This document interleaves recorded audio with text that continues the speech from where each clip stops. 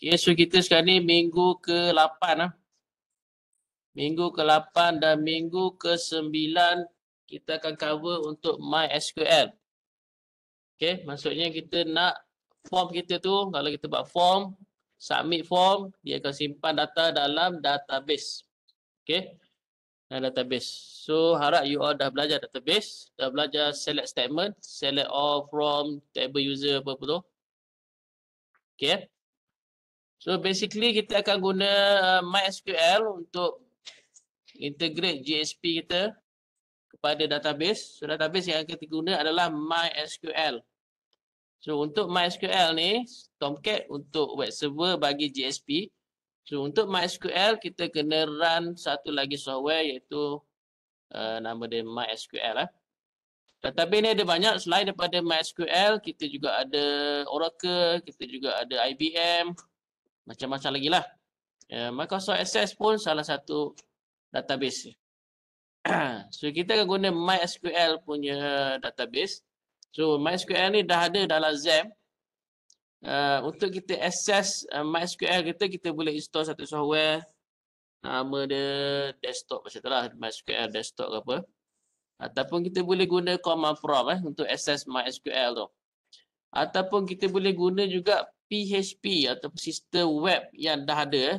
So, dalam kes ini untuk memudahkan kita uh, configure ataupun setup kita punya database, kita akan gunakan PHP MyAdmin. Okay.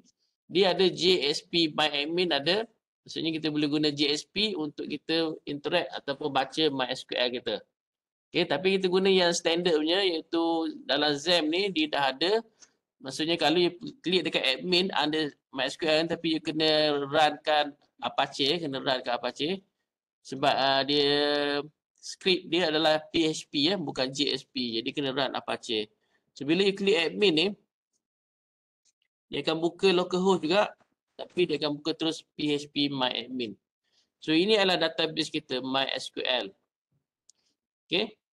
So kita boleh access melalui browser SQL kita tu ataupun menggunakan command prompt.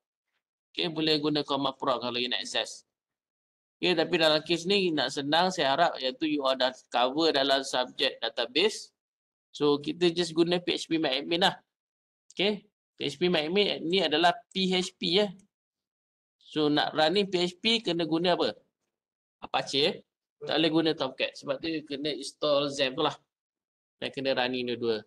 So kalau tengok localhost yang ni tidak ada 8080 sebab localhost yang ni dihostkan oleh Apache. Okay, ni bukan 8080 sebab PHP MyAdmin ni adalah PHP bukan JSP. so ni database kita. Saya create satu database baru. So klik klik kat sini new. So kalau kita install XAMPP, automatic dia punya username adalah uh, root ROOT dan password dia adalah null, tidak ada password. Itu default setting bagi MySQL lah. Root adalah username dia, password tidak ada. Dan kita boleh create username sendiri. Contohnya pergi dekat user account ni kita create lah. Itu dah subject database. So saya harap you all itu boleh tengok dalam subject tersebut lah. Saya create satu database baru eh. So bila buka PHP admin ni, kita boleh create database dekat sebelah kiri ni. So katakan kita buat kat sini uh, my system uh, database. Kita klik create. So dalam database dia ada table eh, dia ada table. Ni contohnya kalau kita tengok ni PHP admin dia ada banyak table dia. Okay, dalam satu database ada banyak table. So yang tadi saya create my sys ni eh, my sys. So saya nak create satu table. Um, Okay, katakan table tentang um, block lah kita buat block eh. Block. Uh, so number of column uh, mungkin dia ada ataupun kita buat participant lah participant. Senarai peserta. Okay, uh, so saya create um, table, table ni participant, ini ada berapa kolom? Kita buat empat loh. Okay, so biasanya ini saya buat ID di auto increment. Okay, ID auto increment dan dia adalah, adalah primary. And then ini saya buat um, mungkin username. Okay, sebagai waca berapa bilangan karakter yang kita boleh terima. Saya buat 100. Username ni kita boleh set dia sebagai index juga, sebagai unique. Tak boleh uh, tak boleh sama ke? Tak, tak payahlah. Boleh sama. Dia katakan kita ada ID, username, um, ataupun email lah. Buat email lah. Kemudian uh, event name. Okay, maksudnya ini participant. Maksudnya ada suatu event. So ada senarai email yang berdaftar untuk event tersebut. Okay. So maksudnya mungkin email satu, email dua masuk kepada event satu. Uh, email dua masuk event dua. Okay. Uh, selain pada email, dia punya event name ni saya buat uh, baca 100 sebelum tu ataupun saya tambah je bawah ni uh, full name kan, nama peserta kita tu eh. Baca juga saya buat 100. Okay. So dia ada email, ada event name, ada full name. Save. Okay, sudah ada table, ada ID, ada email, ada event name, ada full name. Kita masukkan data sedikit eh. Okay, so nanti dekat database kita baca je dekat JSP. So nak masuk data, insert eh. Insert. ID sebab kita set sebagai uh, auto increment, so tak perlu masukkan value dia. So email yang pertama, masukkan email saya. Katakan event ni uh, seminar kesihatan 2022. Okay, full name. Okay, kita insert seorang. Ini, ini email yang kedua. Kita copy lah yang sama ni. Seminar kesihatan juga. Ada beberapa orang akan masuk. Uh, yang ni katakan Ali at Uniza itu your mind. Event name kita paste je dia, dia ada sama dengan yang atas tu. Full name Ali bin Ahmad. Okay. Go dulu. Kita insert dua data dulu. Okay. Kalau saya browse ni. Saya akan dapat uh, senarai peserta lah untuk seminar kesihatan 2022. Masuk soal lagi eh. Kita masuk soal lagi. Insert.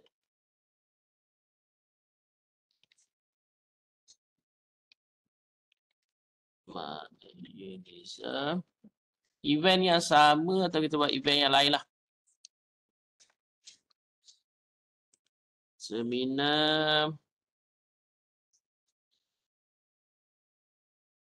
Seminar. Pengatur jaraan.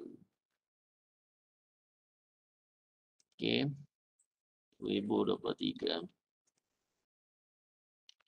Fatma Susiawan.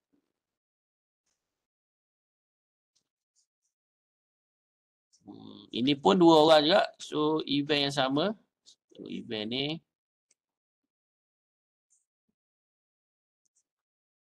Event sama. Seorang lagi email. Kita letak email. Amir Yunizam. Wan Muhammad Amin. Okay. Set. Okay, so kita dah ada satu table nama participant. Dalam table tu ada empat row. Empat row maksudnya empat data. Iaitu Suhailan, Adi, Fatimah, Amir tu eh. Kita bagi satu row tu satu satu data, satu record. Satu row maksudnya ni lah. So, ini adalah satu row. Okay. So dia ada empat row, empat record set kita panggil. So macam mana dekat saya punya uh, JSP ataupun browser saya nak displaykan maklumat daripada database saya. Database saya adalah nama MySys dan yang kedua table yang saya nak baca adalah participant. Mungkin ada table lain, mungkin uh, yuran ke apa ke. So ada banyak lagi table lain. Tapi kita buat satu table dahulu. so sekarang ni go back kepada JSP eh. Okay, ini database. Okay, database ni bukan JSP eh. Database ni adalah MySQL. Cuma JSP macam mana nak baca MySQL? JSP nak baca MySQL eh. Okay, dia nak baca database. Database tu bukan JSP eh. Database tu adalah MySQL lah. So daripada JSP untuk kita connect ataupun integrate sistem JSP kita kepada MySQL dia kena ada satu library dinamakan MySQL connector. So kalau you search you kena install dulu yang tu MySQL JSP connector.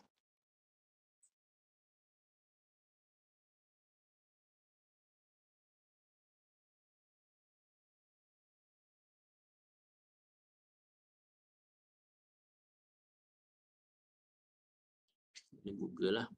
Google, Google.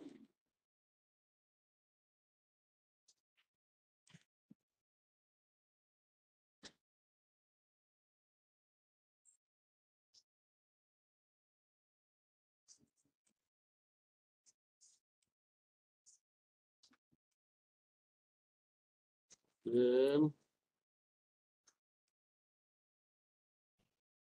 okay. MySQL connect connector untuk JSP ya ataupun .jar tu. Maksudnya ada download connector slash J. You buka page ni. MySQL ni installer MySQL. Connector go to download page. Ini di install sekali MySQL ni.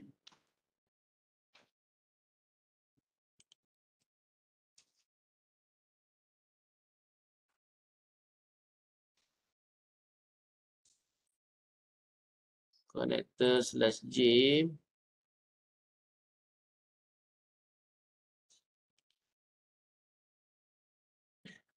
Ini ya.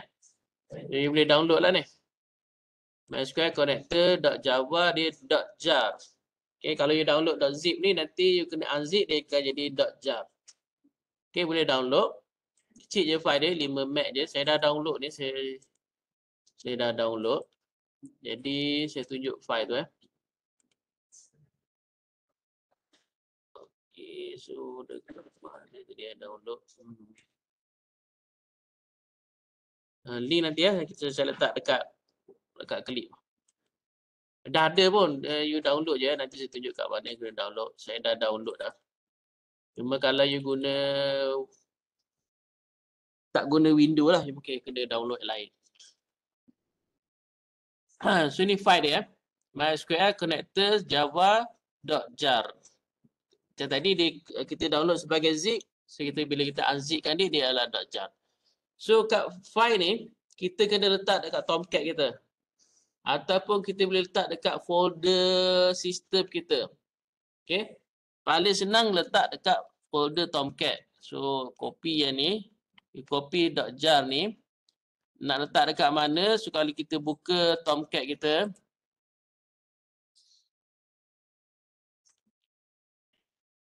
Okay, kalau kita buka Tomcat kita, mana Tomcat saya. So Tomcat saya, saya berada dekat uh, program file ni, Apache software, Tomcat, dekat lib ni ya. So paste saja dekat sini. Paste, paste ni sudah ada dah ni MySQL connector. Okay, tu cara paling senang lah. Jadi dekat semua folder web nanti, tak perlu install dah ni. Okay, sebab kita dah install dekat Tomcat. Okay, dekat folder lib lah. So you copy MySQL connector ni, letak dalam folder lib. Okay. So katakan kita tak ada akses kepada folder Tomcat. Katakan mungkin kita guna hosting. So yang tu kalau kita uh, tak ada akses kepada Tomcat punya library ni, tak boleh nak restart Tomcat ni. So kita boleh letak dekat folder web kita. Okay, folder web. Pergi dekat uh, folder web kita. Contohnya MySys ni. Sorry, my DB ni saya baru create folder ni kosong eh. So kita kena create dalam folder kita ni kena create satu folder nama dia web dash inf. Ini structure dia kena buat macam tu eh. And then kena create satu lagi folder dalam dia lib library. Dan kita paste MySQL dalam ni. Okay, dua cara eh. Satu letak dekat lib Tomcat punya lib Okay, tapi kalau tak nak letak kat situ, boleh juga kita letak dekat setiap folder kita ni, setiap folder contohnya MyDB ni saya nak connect kepada MySQL, so saya kena buat satu folder web.web-inf, dalam tu ada library, so, dalam library tu saya letak saya punya folder ni. Okay. Tapi bila kita letak folder tu, kita kena restart lah kita punya Tomcat ataupun XAMPP tu sebab kita baru load library dia so saya saya guna yang ni saya kena restart balik Tomcat saya dekat Bing. So saya dah letak dua-dua tu so tak ada isu lah. So tak ada isu tak ada isu macam mana maksudnya dekat MyDB ni saya letak uh, library. Okay, kalau saya tak letak pun tak ada isu. Dia still boleh connect lah sebab dekat Tomcat saya ada letak. Eh. Okay. So, uh, seterusnya macam mana kita nak uh, connect ke database. Eh? Okay, saya buat satu file yang akan baca database dan akan viewkan senarai record set yang ada dalam table participant tadi tu. So, saya buat file index.jsp. Okay, kosong je file ni. Eh. Okay, kita buka file ni, index.jsp. okay, step pertama adalah kita kena connect kepada database. Kena connect ke database. So, ini arahan dia. Pertama, uh, kena import dulu page ni. Okay, buka coding ni. Alias, import import apa? Page import eh, page import Java. Ini eh. Okay, alias page import sama kita import adalah java.sql.star. Tak perlu kita specify satu-satu file je sebab asterisk saja. Asterisk ataupun star tu.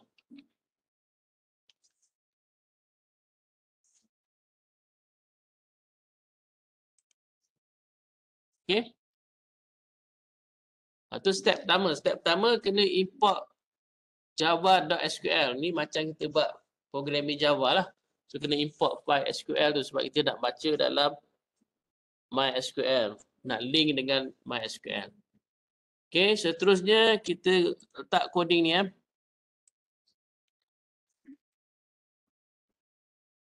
Okay, buka coding JSP. Yang ni untuk import kita just guna directive ni. Eh. Directive ni maksudnya guna alias ni.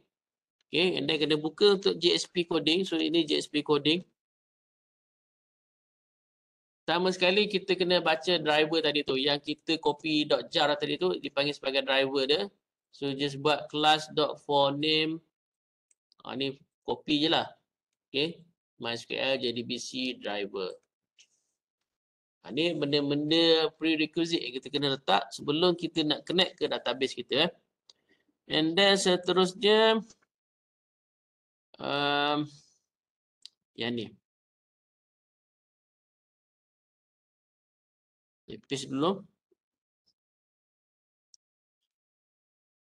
Kita ada connection, string dia connection, uh, start type bagi database ni kita akan guna connection. DB ya, DB ni nama variable lah. Tak kisahlah nak buat CONN ke, saya guna DB lah sebagai database. So connection and then ini DB, terpulang yang nak buat CONN pun boleh. Banyakkan contoh guna CONN tapi ini saya guna DB je. So driver manager get connection ada tiga benda yang kita kena supply kat situ. Itu uh, maklumat tentang server kita. Okay. Maklumat tentang username untuk masuk MySQL tadi tu iaitu root dan da, kalau ada password kita kena masukkan sekali password. So ini kita buat sebagai string lah semua tu. string db server. Kalau you tak nak buat string pun boleh je. Terus buat dekat sini ya. Okay, tapi ini saya just guna sebagai variable db user, db password. Yang pertama db server. So kita kena specify server kita duduk dekat mana, database apa yang kita nak masuk dekat db server tu. So apa yang kita masuk dalam db server yang ni ya. Okay, this Okay, maklumat server kita adalah MySQL uh, akan link atau integrate melalui JDBC.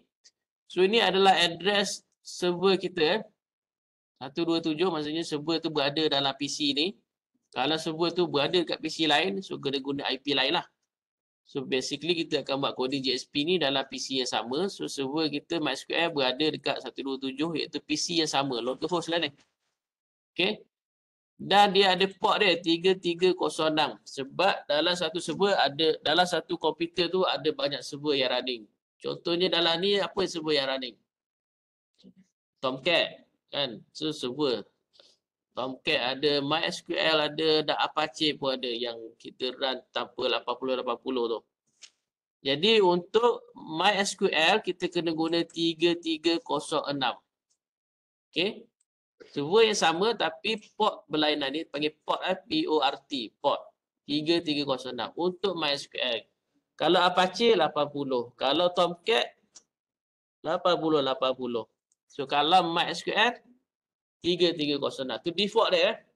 Boleh tukar ni port ni, tapi secara defaultnya kita install tak tukar apa-apa dekat MySQL, ah itulah default dia 3306. Kemudian ada slash tak apakah ini test? Ini adalah nama database kita. Kita tengok database kita tu guna MySQL PHP MyAdmin ni. Okay, ni database saya uh, MySys. Okay, database saya nama MySys. Ada berapa database ni? Information schema ni satu database MySQL, satu database yang saya bawa create tadi MySys. Dan ada banyak lagi test pun ada satu sebagai satu database ha. So saya nak connect ke MySys.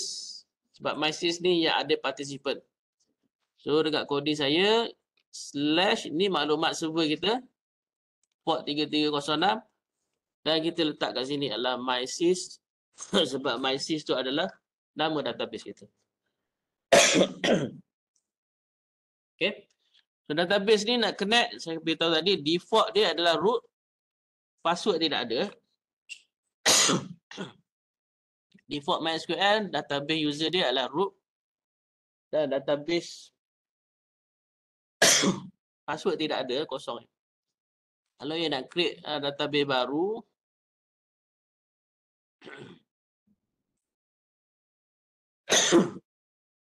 Ketika kita nak create user baru, kita pergi dekat MySys. Ada privilege ni. kita boleh add user eh. Boleh add user. Yang ni boleh letaklah password eh. Tapi kita guna yang default ya.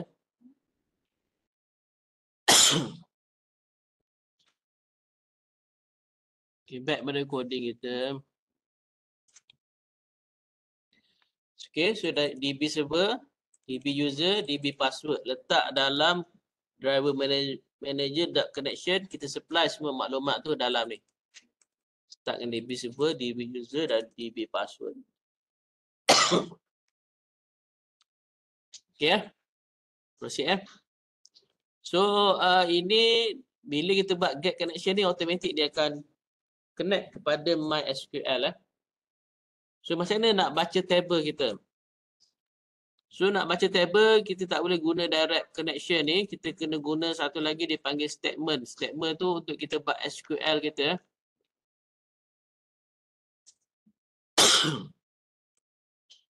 statement eh.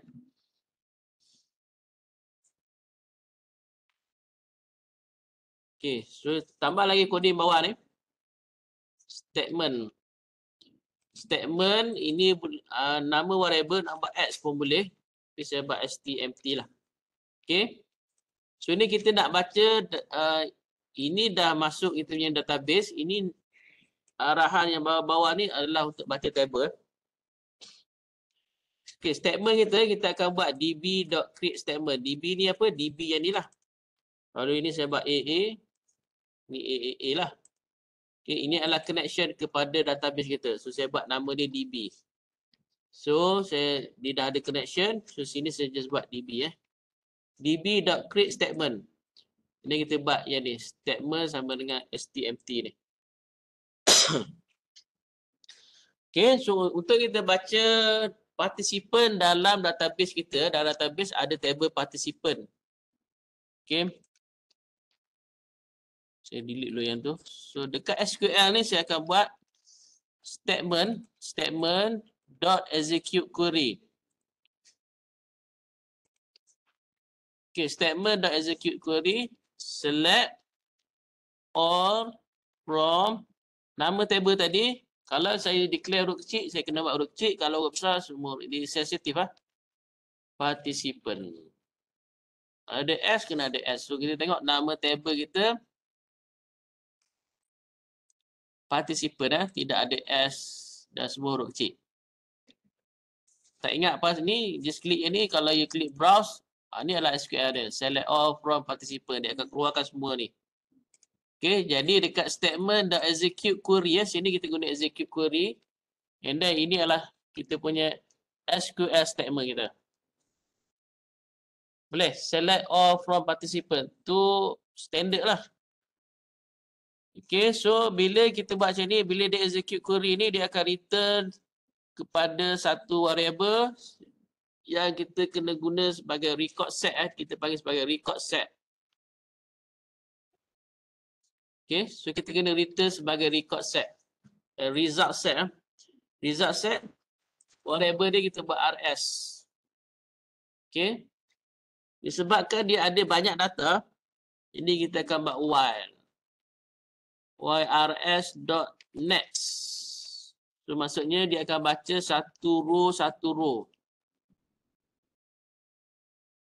Okay, kalau dia hanya ada satu data je, okay, kalau kita buat select all ni, ada kita, kita buat where apa-apa, dah ada satu data je, ini tak perlu guna while lah. Boleh je nak guna while. Tapi kita boleh guna if lah.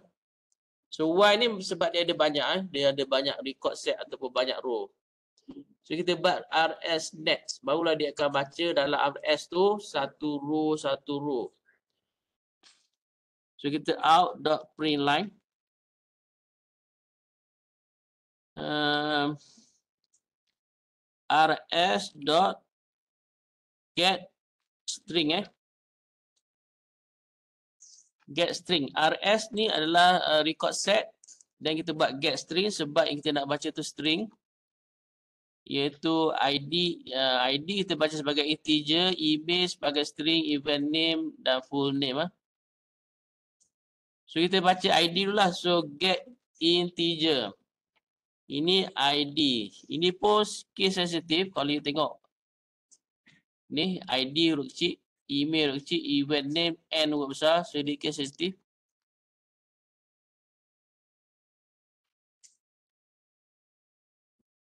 Okay.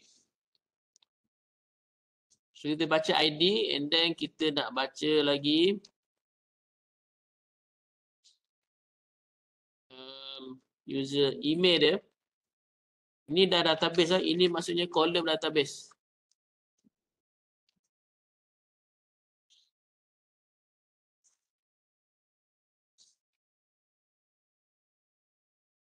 Last sekali uh, full name. Okay. Out dot print line. Last sekali kita print BR lah supaya dia pergi next line. Yang ni pun kena buat uh, ada space sedikit.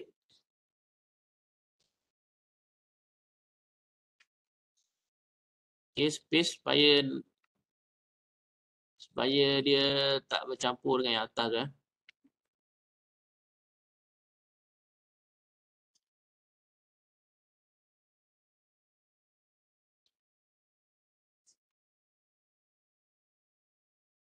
Okay. So ini dia akan baca satu line, satu line, satu row, satu row dia akan print eh. Print ID, kemudian print email, print event name and then print full name. Kemudian buat VAR untuk next line. Next row. Last kali kita kena tutup semua ni ya. Tutup RS tu. RS dot close. Okay, tutup RS. Kemudian tutup statement. Statement dot close. Last kali db dot close. db ni ya. Okay. Dan kita testing.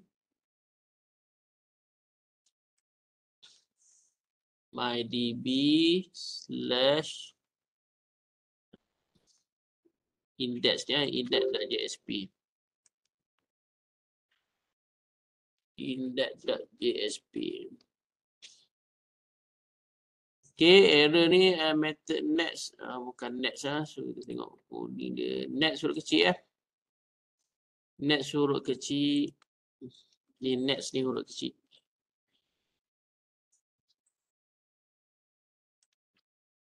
Okay, refresh. Okay. So dekat kita browser dah boleh baca database MySQL.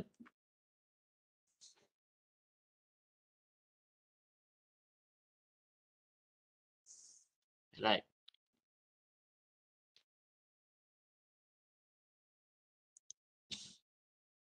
Kalau nak buat dalam bentuk table, ini adalah TRTD tu semua tu kan. Maksudnya, ini saya buat dalam bentuk table. Print line. Kita buka table dulu.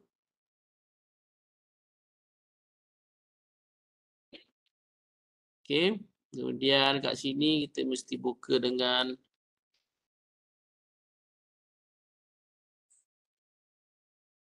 TR untuk new row. Yang ni kena tutup dengan slash TR. So yang ni kena buat dalam TD. Tutup TD. Kau nak buat dalam format table lah.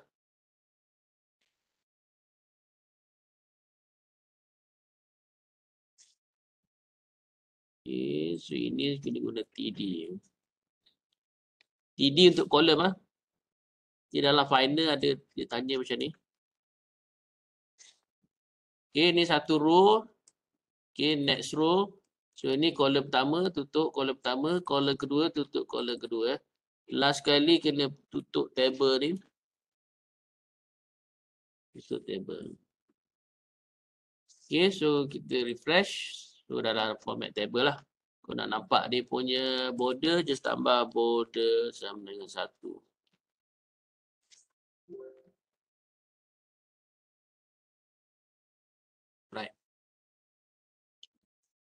Berapa dah? Ada soalan? Buka dulu untuk soalan. Ada nak tanya? Perlu ingat ke ni? Ha, kalau saya tak ingat, you all pun tak boleh ingat lah. Okay. Cuma you kena faham lah. Ha, ni select statement ni kena ingat lah. Okay, select all from participant ni memang database punya SQL ni kena ingat. Yang lain-lain tu you kena faham lah. Soalan dalam final dia mungkin isi tempat kosong eh. Dia akan bagi tempat kosong. Tapi yang standard-standard lah. Tak adalah yang kena ingat. Tak adalah dia bagi macam ni tempat kosong. Isi kan tempat kosong tu. Tak adalah. Mungkin tempat kosong. Ha, yang ni. Kan? Dia beritahu database nama apa kan. Ha, so, you kena isilah nama database kat situ. Ha. Ataupun mungkin port ni. Isi tempat kosong. Port standard lah. Uh, siapa yang tak ingat lagi port Tomcat? Ha, ingat port Tomcat? Ha, tak suruh hafal pun tapi ingat kan? Ha, macam tu lah. Sama lah macam ni. 306.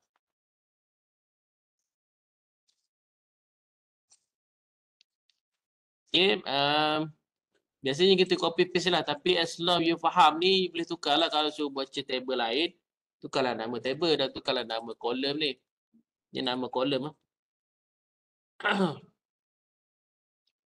okay. Um, sikit lagi saya tambah sedikit untuk uh, form. Eh. Kata kita nak search. kita nak search uh, nama participant. Okay. Kalau kita tengok yang ni, dia tak ada button search kan. Saya nak search contohnya um,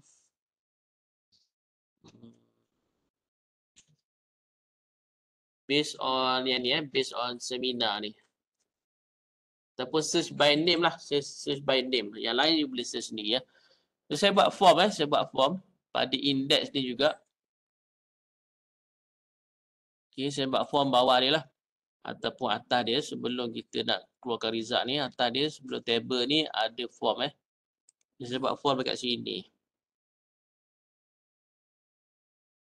Okay, saya buat form kat sini eh. So form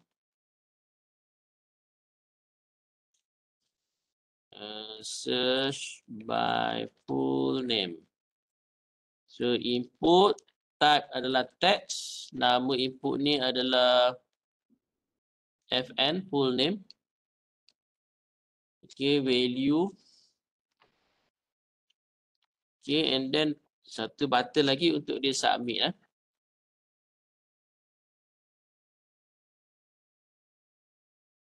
Button search.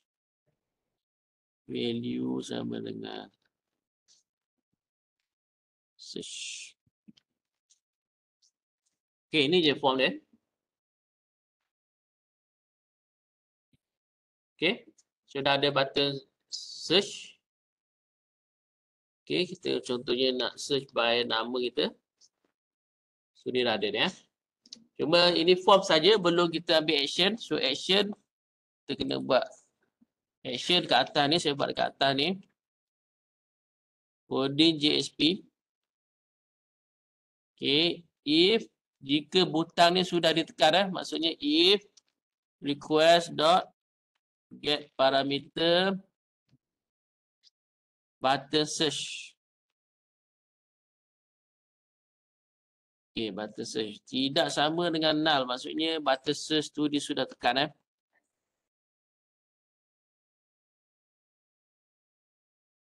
Okay. So kita kena tukar SQL ni eh. Ini SQL ni. So saya letak dekat atas lah sebab kita nak fokus dekat form tu. So ini saya just buat nama variable SQL lah. Dan SQL tu saya letak dekat atas ni. String SQL kecil ke dia? SQL tu kecil eh. So ini saya letak yang standard tadi tu. Okay. Tapi sekiranya button search dia sudah ditekan eh, maka kita akan tukar SQL tu jadi select all from participant where so kita ada where sebab kita ada search by apa kita nak search by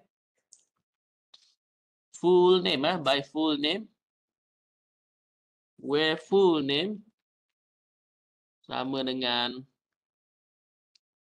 ni macam ni eh. So ini apa yang kita nak masuk? Ini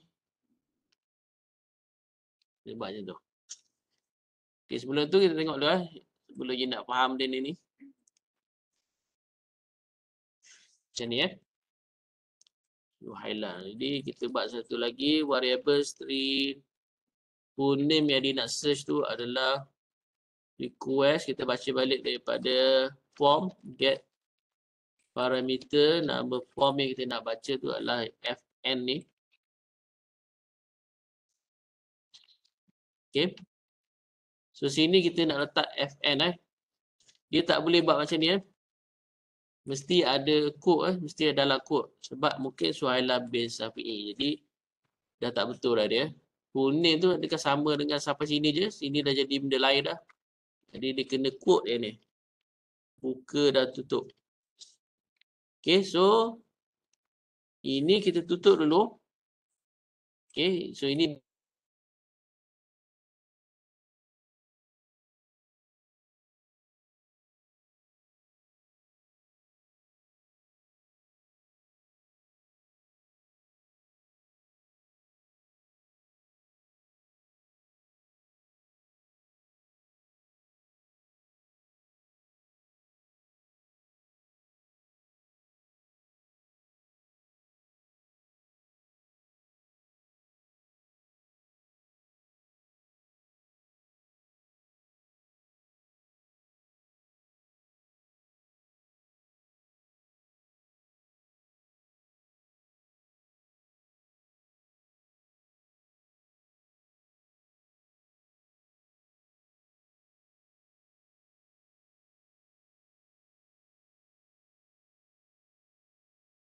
Okay.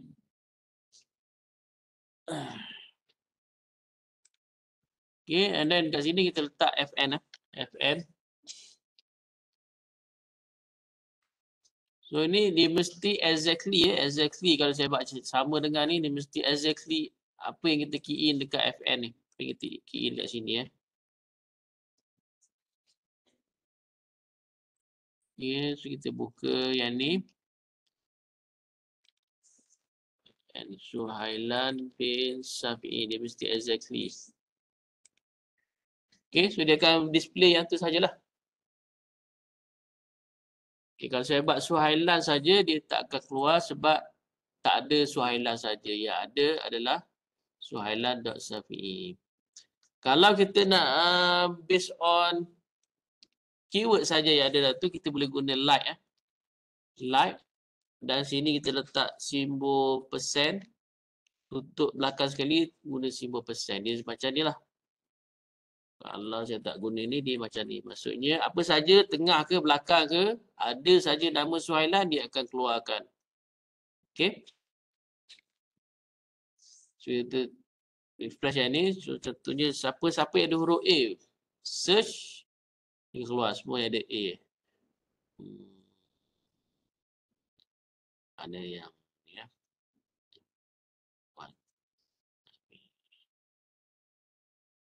AF. Satu je. S. Ha. Yang ada huruf S. Ha, ni light eh.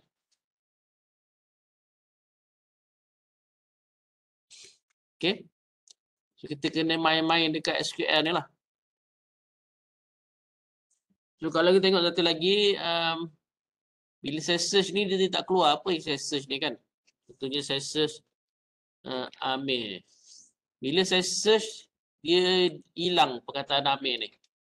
So, you nak print balik, dia ada je. Cuma kita tak print je dekat situ. Ha. So, dekat value ni kita kena buat persen sama dengan FN. Itu apa yang kita baca dekat sini. Cuma sini FN ni kita letak kat luar. Eh.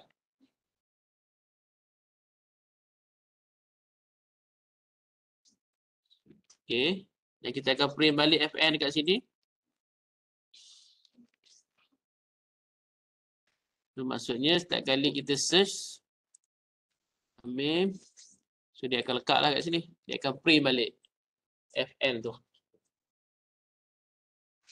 S search. So dia akan print balik S tu dekat situ. Guna arahan yang ni.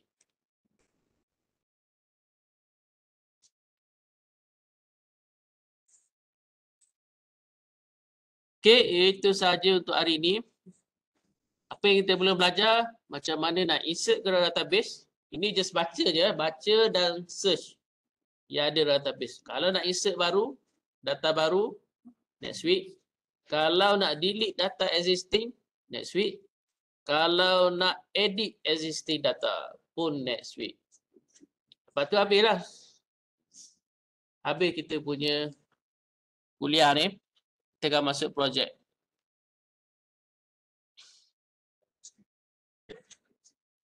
Okey, ada soalan setakat ni? Uh, sebelum tu, eh, sebelum tu. Biasanya ini pun sama juga. Kita boleh letak dalam file yang berlainan sebab, uh, sorry. Bukan yang ni. Eh. Hmm. Yang ni, eh, yang connection-connection ni. Eh. Biasanya kita letak dalam file yang lain, eh, file yang berbeza supaya kalau setiap page kita nak buat uh, database, tak perlulah kita declare banyak kali benda ni, tak perlu copy paste. Jadi saya boleh copy yang ni, saya letak sebelum yang ni. Eh.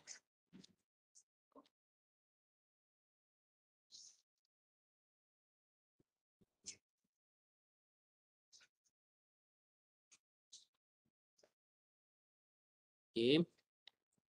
Saya alih dulu. Right. So yang ni saya letak dalam file yang lain. Eh. Okay. Sudah tak ada dah yang tu. Kalau you tengok kat sini dah tak ada statement je yang panggil DB ni. Untuk kita panggil file tadi saya just buat directive include paste sama dengan db.jsp eh.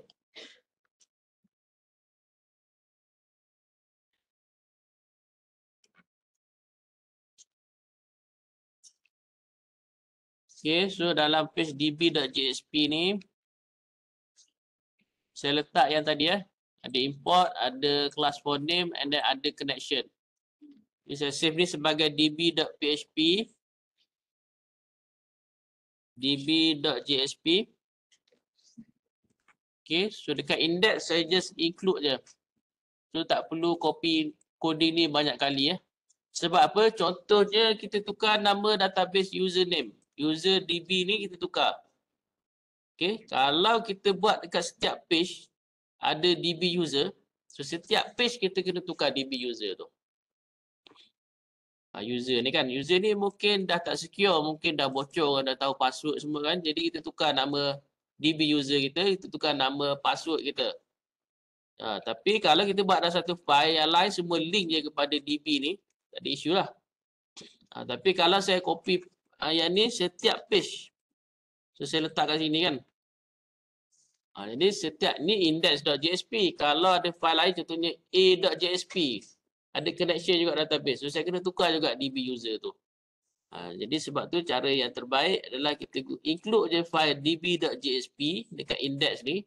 So kita setiap kali perubahan dalam database ni kita hanya tukar dekat satu file saja. Sebab index.jsp link kepada file tersebut a.jsp link kepada file tersebut. So, semua file-file yang nak connect ke database akan link kepada file ni. Jadi kita akan ubah dekat sini sajalah. Okay. Untuk you test ni, ya, untuk you test. Tapi mungkin coding tu tak betul. Sebab sebab apa tak betul? Sebab nama database tak sama. Okay. Dan database tu you boleh create lagi ke? Okay. Untuk you test tu sebenarnya dekat klik dah ada. Eh. Kalau you buka klik.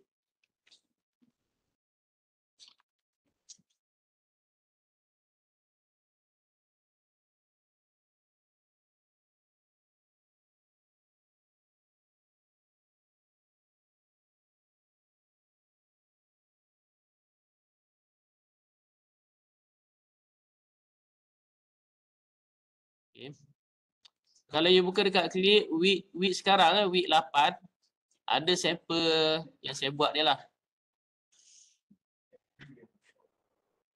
Ha, ni sampel DB ni. Eh. Tapi ni dah advance sikit lah. Ada advance sikit. Ha, apa nanti saya letak balik lah yang ni. Ini dia ada advance sebab apa? Sebab dia dah ada edit, dia dah ada delete. Cuma tidak ada, tidak ada untuk new saja. Tapi tak apa saya letak je balik yang ni yang saya dah buat ni. MyDB ni ya. So dalam MyDB ni dah ada file.jar tu so tak perlu nak, nak download balik lah. MyDB. Ini mungkin saya hide dulu sebab ni pun tak complete juga. Hmm, dan saya add yang baru buat tadi lah.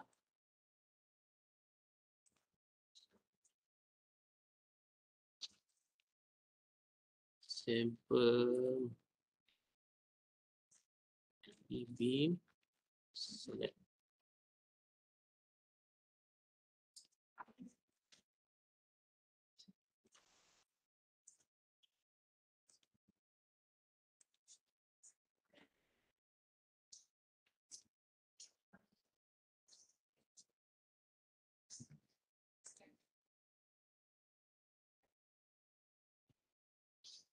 Alright, so dah ada ni ya. Simple DB.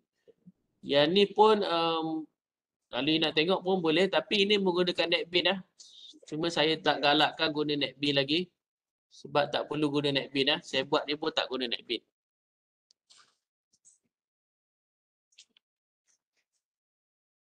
Alright, so itu saja kelas kita hari ini.